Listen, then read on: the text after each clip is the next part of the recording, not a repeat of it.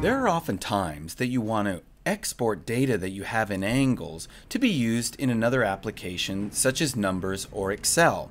This can help drive some cool data visualization you've created for a report or some other statistical analysis you might be doing. One option is to use the Matrix CSV export. You can export data from both the timeline or the composer.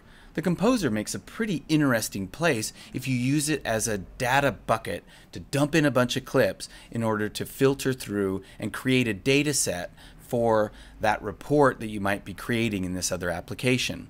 Let's have a look at the timeline export. I'm going to filter in shots because that's all that I'm interested in. The filtered in clips will be used and pushed through the export.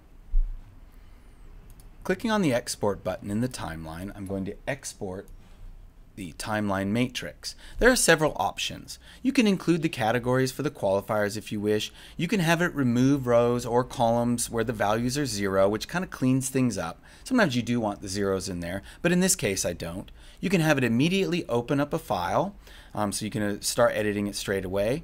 If you're doing something live, you can have this export um, every time something is changed in either that timeline or that composer. Note that the export will not work any longer after you've closed the file or quit angles. You can also choose tab or comma delimited depending on what that application might prefer that you're using to generate your, your report in. So let's save that out as shots.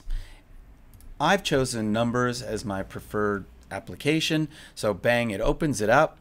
And let's just look at a quick data visualization and how simple it can be. I'm going to do an interactive report here.